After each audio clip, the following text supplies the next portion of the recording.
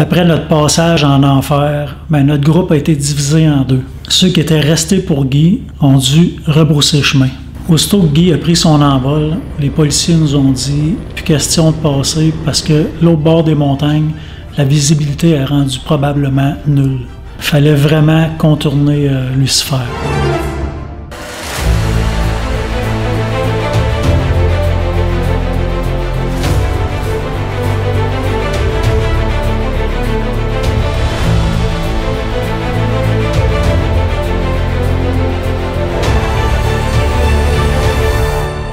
Sur nos pas, ben, on a rencontré le reste de la gang qui revenait avec un pneu neuf. J'en ai profité pour laisser Danny reprendre sa position de leader. This is my country, my damn country. Give me my country, you can keep the rest. This is my country, my damn country. And it don't mean a thing if you don't pass the test. If you ain't never cheated or been cheated on, then take off your boots, you rhinestone frog. J'avoue que les, en chemin, la, la tête trotte beaucoup. J'aimais mieux rembarquer parce que j'aurais pu dire non. Euh, on retourne la moto à Calgary, puis euh, moi, je, je, je, m'en vais à l'hôpital avec lui, mais de toute façon, avec le COVID, j'aurais pas pu rentrer. Donc, euh, j'ai décidé de continuer. Euh, puis Marc, un des leaders du groupe, qui nous a amenés à l'hôtel, il a pris soin.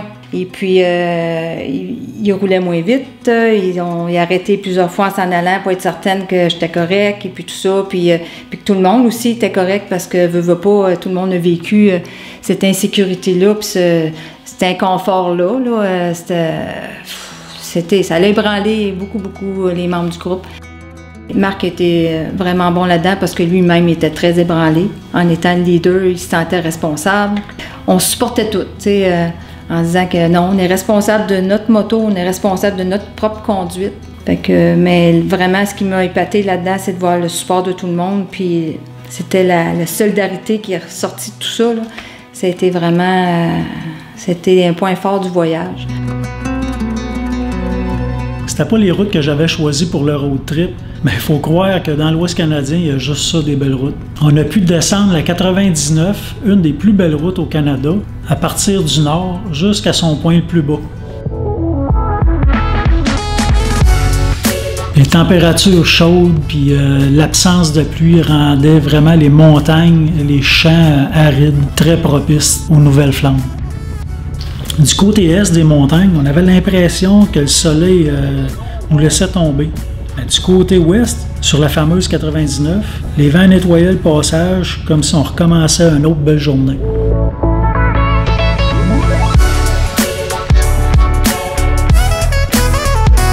On a longé un immense lac blanc. On s'aurait cru à Salt Lake City, sur la 97C.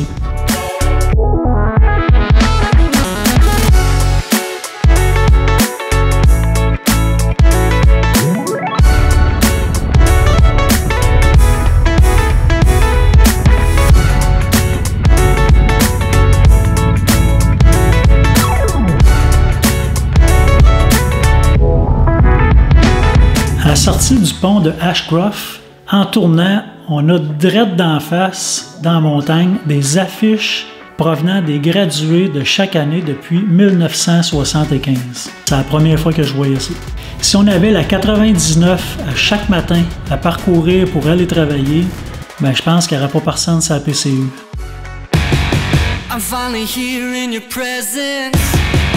Where the noise of this world will fade.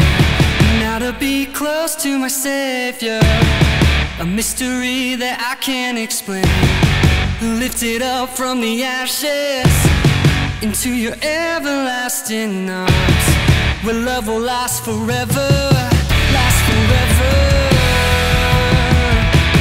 You are the light in the darkness You are the hope to the hopeless And I will not voyage de groupe, euh, c'est rassurant, sécurisant, puis on n'est pas tout seul. Le lendemain matin, euh, c'était à l'heure du départ. Là, on avait décidé, euh, ben, notre couple d'amis, Maurice Pinicole, peu importe ce que Guy était pour dire, c'était non négociable que nous, on se rendait, on lâchait le groupe, puis on se rendait à l'hôpital de Kamloops. Puis qu'après ça, on irait rejoindre le groupe. C'était, oui, déchirant de voir toute la gang partir. Et puis, Bon, bye bye, oui, on se revoit. Je savais qu'on se reverrait, mais c'est oui, c'était dur sur le cœur de, de, faire cette étape-là. Euh, j'ai eu des extrêmement bons soins à l'hôpital. J'ai eu d'extrêmement bons amis qui m'ont qui ont continué avec ma conjointe à m'accompagner dans le dans cette aventure-là. Euh, ensuite, euh, quand je suis sorti de l'hôpital, j'avais déjà décidé que je louais une auto pour continuer à faire le trajet.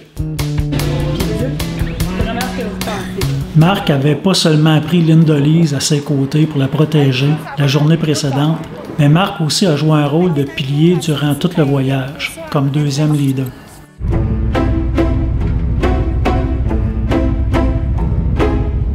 On a fait une petite saucette à Whistler avant de reprendre la 99 jusqu'au traversier. On ne s'est pas attardé à Whistler parce qu'on l'a déjà vécu en 2018. Puis on voulait passer un maximum de temps sur l'île de Vancouver.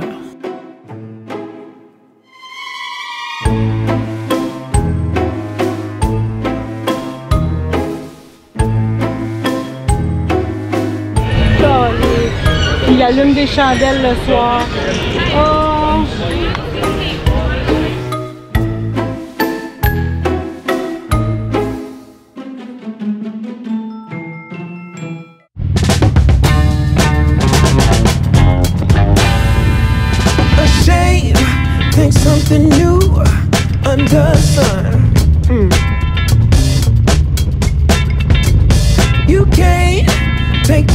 things you already done, done.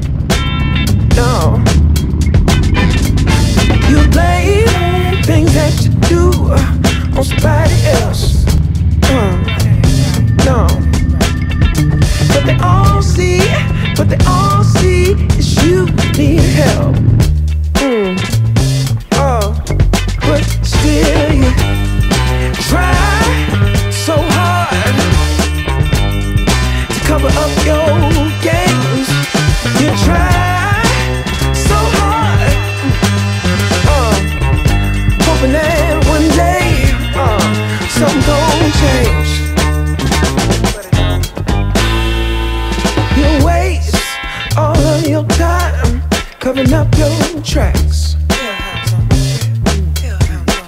Si ça vous arrive de faire un arrêt à Bay avant de prendre le traversier, sentez-vous pas mal si vous avez l'impression de vous perdre en essayant de rejoindre le ferry. L'accès nous fait faire un méga détour qui nous donne vraiment l'impression qu'on s'est gouré totalement. Le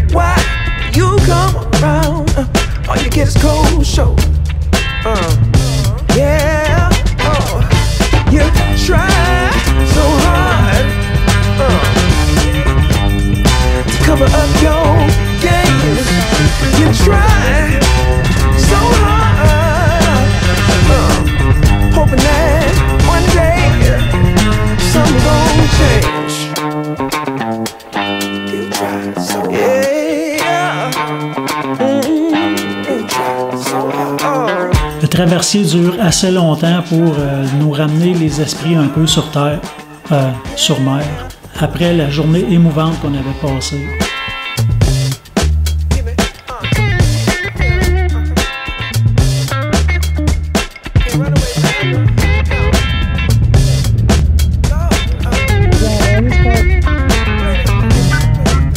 OK, destination atteinte. Nanaimo, nous voilà.